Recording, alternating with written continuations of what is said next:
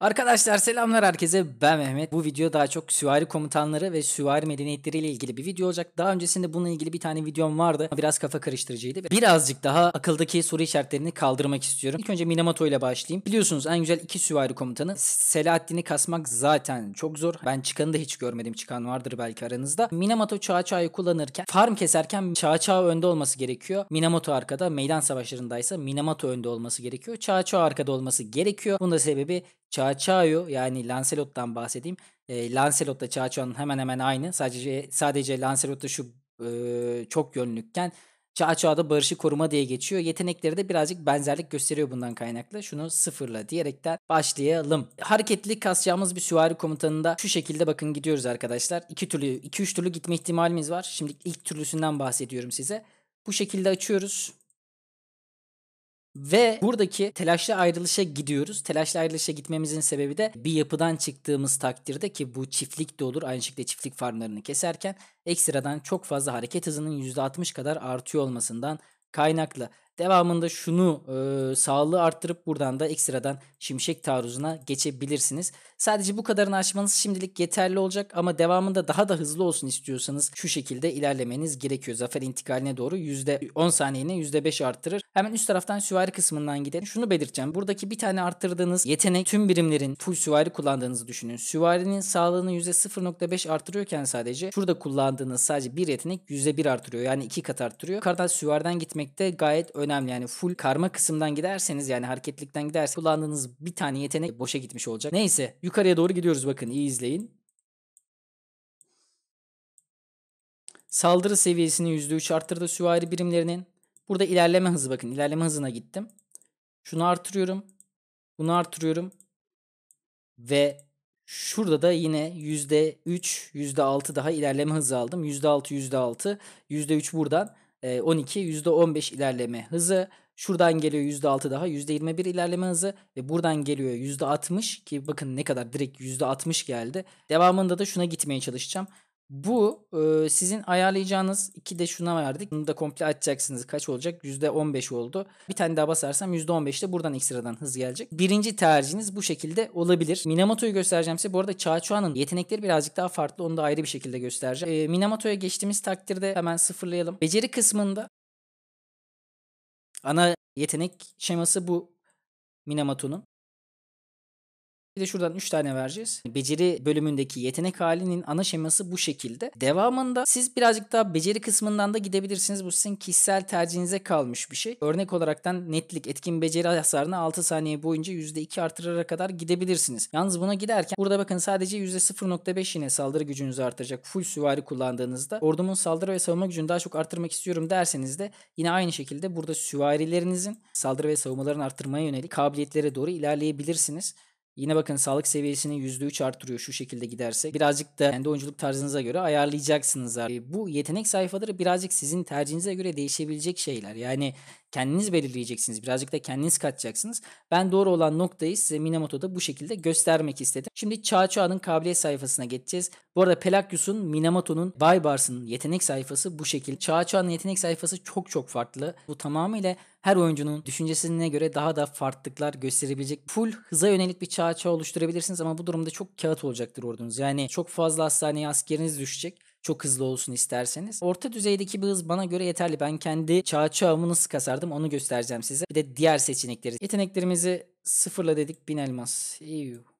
Arkadaşlar barışı koruma noktasına bakın direkt %3 hız ilerlemesi var. Bunu açın mutlaka. %3 hız ilerlemesi. Direkt bir tane yetenek puanıyla direkt ulaşabiliyorsunuz. Devamında dediğim gibi %1 bakın bunlar e, standarttır. Çağçoğa ana yetenek sayfasında e, sadece hareketlilik kısmında telaşlı ayrılışa gitmeniz yeterli. Zafer intikaline de gidebilirsiniz. Birazcık daha hız istiyorsanız buraya doğru gidebilirsiniz. Bir diğer ihtimal şöyle gidenler de var. Burada safkan daha da ilerleme hızı istiyorsanız şuradan verelim şunu. Sezgin %6 burada arttırdı hareket hızını. %9 da burada arttırdı. Bu şekilde gidebilirsiniz alt kısımdan ama ben Çağçoğa'da bu kadar çok fazla barışı korumada vermeyi düşünmem. Çok fazla da kırılgan olur bu şekilde ilerlerseniz. Ama sizin kararınız. Hani çok daha hızlı olsun istiyorsanız hareketlilik kısmında zafer intikalini ve barış korumadan bu şekilde ilerleyebilirsiniz. Devamında süvari kısmına geçiş yapabilirsiniz. Ee, benim Çağçoğa'ma kendi düşüncemdeki Çağçoğa'ma vereceğim kabiliyet sayfası ise yetenek sayfası ise şu şekilde olacak. Zaten şu %60 hareket hızı binadan ayrıldığındaki %60 hareket hızı gayet yeterli bir hareket hızı. Karakter uçuyor zaten farmdan farma, farmdan farma giderken. Süvari kısmından giderken de e, birazcık daha ordunuzun bakın saldırı savunmasını artırdığınız için kağıt ordu olmaktan kurtarıyorsunuz. Ve devamında da şuradaki hareket hızlarını açmaya çalışıyorum ben ilk önce ve saldırı seviyesini bakın burada %3'te arttırdık. Ve şuradaki ilerleme hızını açmış oluyorum. Çağ Çağ'ı burada süvari kısmında şu şekilde ayarlıyorum. E, farma girmeye yönelik bir ordu olmuş oldu. Bu şekilde süvari komutanlarınızın yeteneklerini ayarlayabilirsiniz. Full süvari gitmeniz doğru değil. Full hareketlilik gitmeniz çok çok yanlış. Zaten full barışı koruma gitmeniz de aynı şekilde yanlış olacaktır. Şuradan sadece bir tane barışı korumadan sadece ilk yeteneği açarsanız çağ çağ için bu gayet yeterli olacaktır. Bu da çağ çağ ve Belisarius için geçerli olan yetenek düzlemi bu şekilde. Lancelot zaten bitti artık. Belisarius'un çıkmasıyla Lancelot'u çöp ettiler. Hani e, Lancelot'un yetenek sayfasını da paylaştım sizde. E, orada da nasıl bir ilerleme yaptığımızı görün diye paylaştım. Şimdi gelelim medeniyetleri üzerinde bir tartışalım. Ben ilk önce Arabistan hakkında konuşacağım sizlerle. Yeni çıktı. Malum herkesin aklında çok soru işareti var Arabistan noktasında. Arkadaşlar Arabistan barbarlara ve diğer tarafsız birimlere verilen hasarı %10 arttırıyor. Zaten Minamoto ve Çağçağı kullanılıyor bu ikilide standart olarak da. E, ve daha çok böyle klanda yine liderlik oynayan kişilerin seçmesi gereken bir medeniyet Arabistan. Bunun da sebebi tarafsız birimlere verilen hasar derken kapılara verilen hasar, sunaklara verilen hasar. Özellikle düzey 3 kapısını özellikle ele geçirmek çok çok zor. 1,5 milyon rally istiyor. E, komutanlarınızın güçlü olması gerekiyor. Bayağı bir zor bir şey yani. Daha çok kapıları almada önderlik edecek kişilerin Arabistan seçmesi lazım. Hani sizin tutup da 4 milyonda 5 milyondayken Arabistan oynamanız çok da mantıklı değil. Çok fazla barbar kalelerine rally açmayı seviyorsanız ona diyecek sözüm yok. Yine aynı şekilde klana liderlik edecek olan e, arkadaşlar Minamoto Çağçağı kullanacak olan kişiler e, toplanan kıtaların verdiği hasar da %5 artırıyor. Yine rally açıldığında iş yapacak olan bir özellik bu. İspanya'ya geldim. İspanya daha çok oyun oynama süresi düşük olan arkadaşların işine yarayacak olan bir medeniyet. Barbarlardan ve diğer tarafsız birimlerden gelen deneyimi %10 artırması ve kaynak üretimini %20 artırması genellikle oyuna az giren arkadaşların seçmesi gereken bir medeniyet İspanya medeniyeti. Benim sizde süvarilerde en çok önereceğim ırk Almanya her zaman Almanya'ydı. Çünkü bu oyunu oynayan kişi genellikle çok fazla oynuyor. Birlik eğitim hızını %5 artırıyor olması 10 numara. Süvari saldırısı zaten diğerlerinde de savunma, sağlık var çok fark etmez. Ve eylem puanı geri doluşunu %10 artırıyor olması sizin sürekli işte barbar kesmenizde, barbar kalesi kesmenizde ekstradan bir olay. Bu arada süvari saldırısını %5 artırıyor olması da karşıdaki birimlere daha fazla ağır yaralı verdirttirecek. Aslında saldırı olması bir nevi e, süvariyle daha uyumlu. E, Osmanlı'ya geleceğim. Osmanlı süvari aleyhine uyumlu bir ırk. Özel biriminiz okçu da olsa her ne kadar kıta ilerleme hızını %5 artırıyor. O ayrı bir şey. Etkin beceri hasarınızı da %5 artırması da Minamoto ve Çağçağı gibi karakterlerle uyumlu bir etken. Osmanlı'da yine düşünebileceğiniz seçeneklerden biri süvari oynayacaksanız özel birimi süvari olmamasına rağmen etkin beceri hasarını %5 artırıyor olması ve kıta ilerleme hızını %5 artırıyor olması Osmanlı ile beraber de süvari oynayabilirsiniz anlamını bir nebze teşkil ediyor.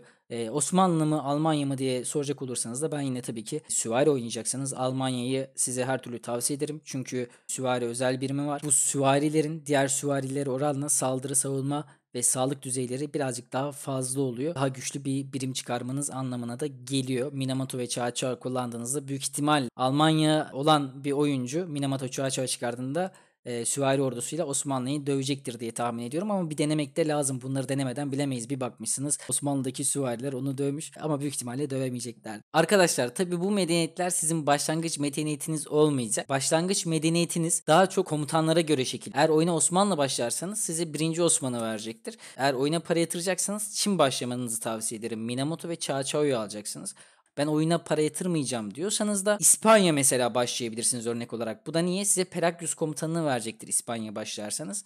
Bu da sizin tamamıyla yine oyunculuk tarzınıza bağlı olan bir şey. Bundan kaynaklı size bir not defterinde bir istatistik hazırladım. Burada Lancelot'u komple sildim. Ee, bunun da sebebi çok çöp oldu yeni güncellemelerle beraber. Şimdi sizin oyunculuk tarzınıza göre değişecek bir şey. Mesela Bizans başlarsanız Belisarius verecek size. Belisarius çok hızlı bir komutan ve güçsüz bir komutandır.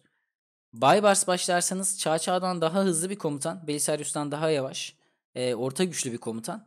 Pelagius başlarsanız da çok yavaş bir komutan ama çok güçlü bir komutan. Morlar arasındaki en güçlü komutandır. Ki Çağçağ zaten orta hızlı. Bakın burada zaten burada bakın yani kısacası ne yazdığımı.